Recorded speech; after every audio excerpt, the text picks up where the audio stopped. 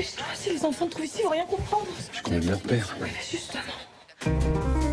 Maud Crayon est née dans les Vosges, mais vit à Paris. Maman, papa a dormi là cette nuit? Non, pas du tout. Allez, allez, dépêchez-vous. Elle est architecte, mère de deux enfants. C'est à cette heure-là que t'arrives. C'est la dernière fois. À 9h, c'est pas 9h15. Et puis pour ton contrat, on verra ça le mois prochain. Quel con. Il y a la mère qui veut te voir. La mère de qui? Bah, la mère de Paris. La mère de Paris? Maud Crayon remporte sur un malentendu J'adore. Nada. le grand concours pour réaménager le parvis de Notre-Dame. Moi, j'ai tout de suite vu son potentiel, tout de suite, direct. Oh, quel gros con. C'est le début d'une nouvelle vie pour Maud Enceinte de 4 mois. C'est une blague et d'une nouvelle histoire. Alors le budget dont vous disposez est de 121 millions. 121 millions. Laissez-moi faire, j'ai mon brevet de secourisme.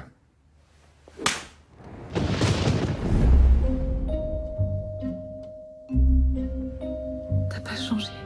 En tout cas, ce qui est sûr, c'est qu'à partir de maintenant, on va plus se quitter.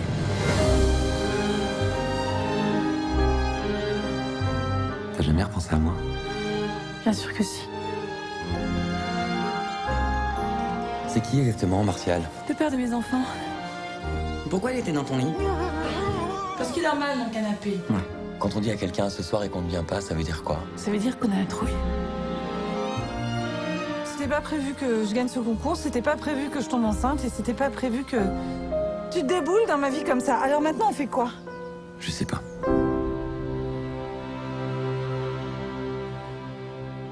J'ai toujours su que t'étais hyper cul.